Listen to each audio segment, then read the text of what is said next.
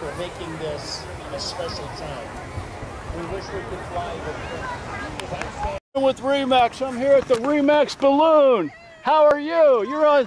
Is this this is this is your exhibit here? We've got the balloon number 19, the Jupiter flights, and we just got rained out. But how was it?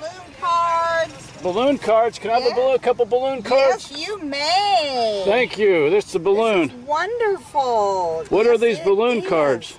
Well, that we've been giving them out all evening to the children and the adults, and a lot of adults want them. It just uh, gives them uh, something to collect and to show and to get your product out in the open. Thank you for sharing that. You're And um, well, we'll catch it next year. Well, we, did you have a good? sure, Did you have yeah, a we- good?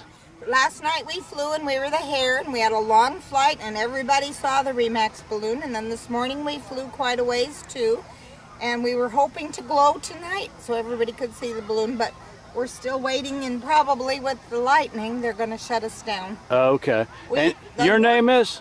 Judy Cass and we're flying for Jeff Menchofer.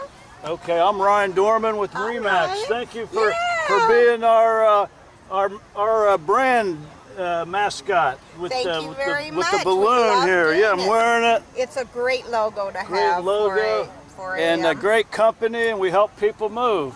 And you can we put your home in the sky like we promote it with great marketing.